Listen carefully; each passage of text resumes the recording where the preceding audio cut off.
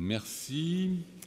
Euh, donc, toujours dans la discussion commune, le 162 rectifié terre, Madame Berthet. Monsieur le Président, je vous remercie.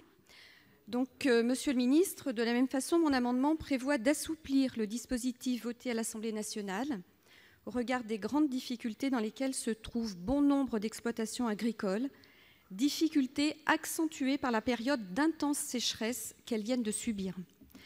Aussi, je propose que l'exonération des rémunérations versées aux travailleurs saisonniers soit totale, jusqu'à une rémunération de 1,25 SMIC en 2019 et en 2020, tout comme dans le régime actuel.